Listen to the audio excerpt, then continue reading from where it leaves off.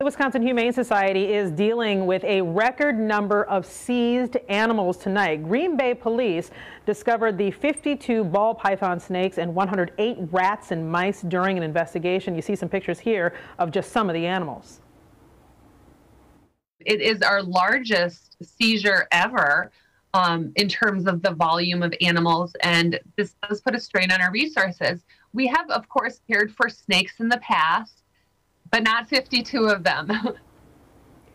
The animals are not available for adoption right now because they're part of a criminal investigation. Now, if you'd like to donate to help the Wisconsin Humane Society care for these animals, you can find a link on our website, WISN.com.